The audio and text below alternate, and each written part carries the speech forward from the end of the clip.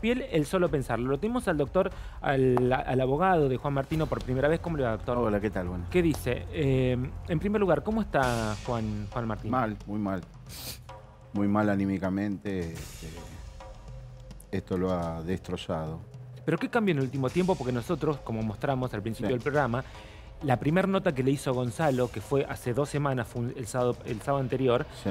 donde le pregunta, y él estaba muy tranquilo, él estaba tranquilo, él decía, esperen a ver el programa, eh, él decía, esperen a que salgan las imágenes, Sí.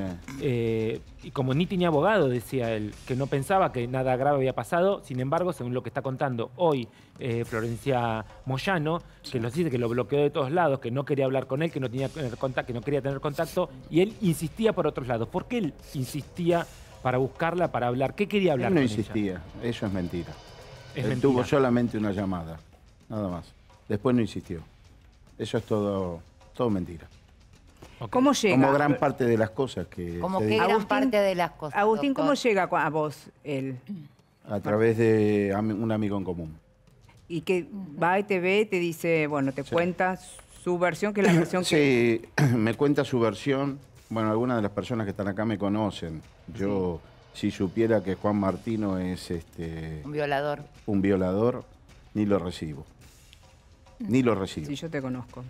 Vos me conocés, Marcelo. Mm, sí, te pero. ¿cómo Doctor, tenés la garantía? Digo, eso no lo va a decir la La misma garantía que debe tener el doctor de que este, Flor. Flor Moyano fue abusada. No, por supuesto, Ahora, eso lo va a determinar la justicia. Por o sea, la denuncia yo lo que digo es, gracias por decirlo.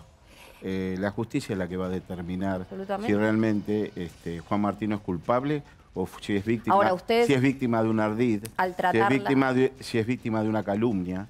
Eso lo va a determinar la justicia. No, y lo que digo es, perdón, perdón, lo pero- que no es Juan Martino es un violador, Pero ella, ¿por qué fue a declarar entonces? pero ella, fue, ella puede hacer lo que quiera.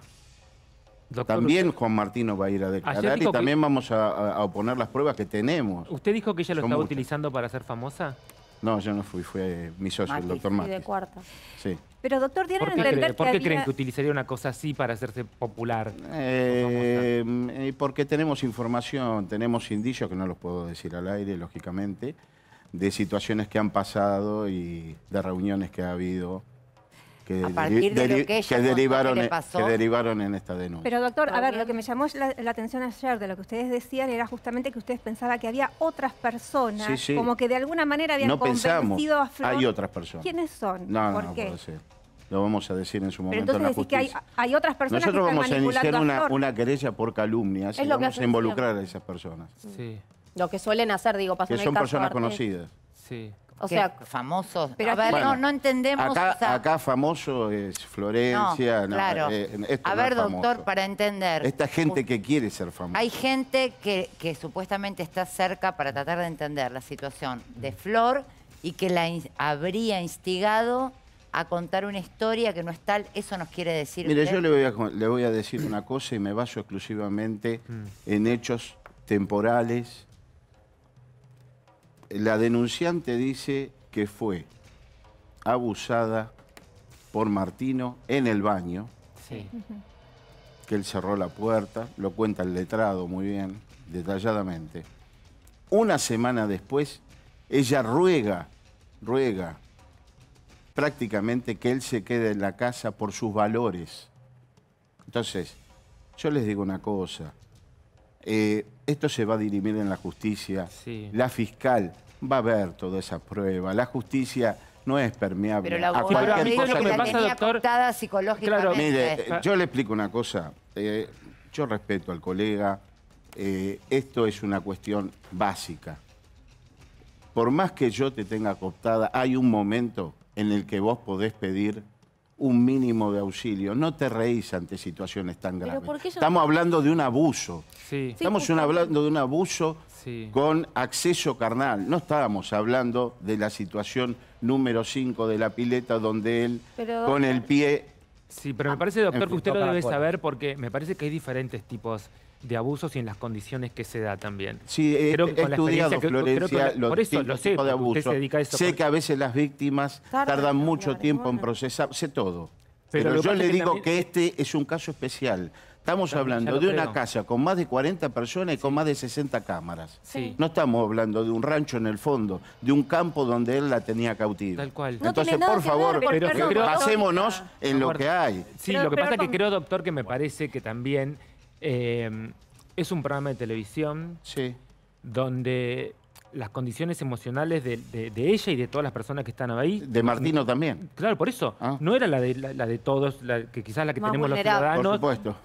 Seguramente eso también habrá jugado alguna pasada. La verdad que yo no lo sé porque nunca me tocó estar en un lugar así, ni aislada.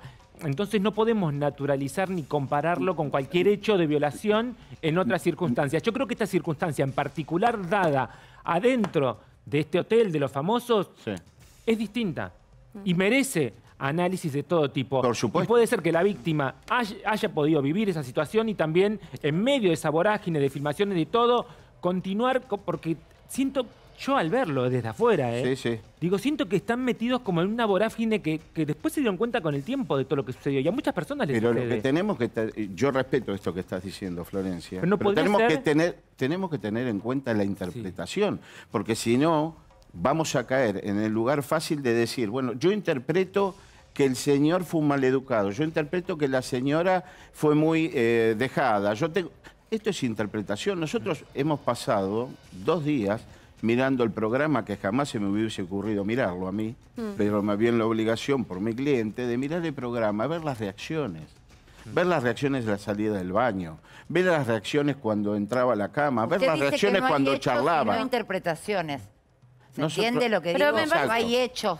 Exactamente. No, pero los hechos son lo que va a analizar la justicia, doctor. En Exactamente. esa parte, la verdad, me parece, yo los vi ayer, tanto usted como su colega, me llamó sorpresivamente la atención la defensa tan machista y tan patriarcal. Escuchar decir que a una mujer, si no, ¿por qué no forcejeó durante, con la cantidad de ¿Cuál es violaciones? la Hay violaciones machista? durante el. ¿Cuál es la, hay cuál la violaciones durante por los hago yo matrimonios, esto? doctor, Mire, yo tengo una hija mujer Entonces, no y un hijo eh, y, y- y un hijo varón. a- Quiere que le diga, si a mi hija le ocurriera lo que supuestamente denunció la señora Mayor, yo actuaría con esa vehemencia. Pero lo va a determinar la si usted si tiene un hijo no. varón y lo Si acusan injustamente, no, no, no, porque el tema acá clave es el principio de inocencia. El principio de inocencia es que que Martino es inocente hasta que la justicia Lo va a no- determinar la no, justicia. Nosotros no no, quiere que le digan los programas de televisión le han puesto monstruo, chacal. Bueno, nosotros no, yo no, no, pero usted me está diciendo por qué esa actitud machista. Porque- no hay actitud porque machista. sí, porque hay actitud de defensa.